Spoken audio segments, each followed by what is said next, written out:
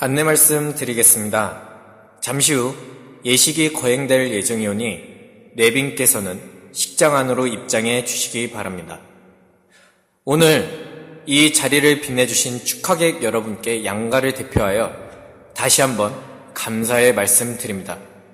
지금부터 신랑 현빈 군과 신부 나영 양의 결혼식을 거행하겠습니다. 큰 박수 부탁드립니다. 이제 오늘의 성스러운 예식을 위해 양가 모치께서 축복의 촛불을 밝히시겠습니다. 내빈께서는 양가 모치께서 입장하실 때 힘찬 박수로 축하해 주시기 바랍니다. 양가 어머님 입장해 주십시오. 신랑 신부의 밝은 미래를 밝혀주기 위해서 양가 어머니께서 입장하고 계십니다.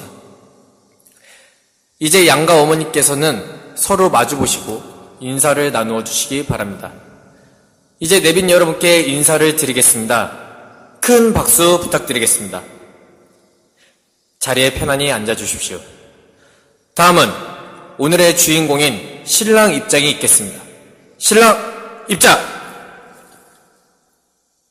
여러분, 잠시 뒤를 돌아봐 주십시오.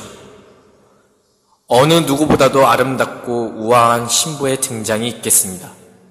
아낌없는 박수와 환호 부탁드립니다. 이어서 신부 입장이 있겠습니다.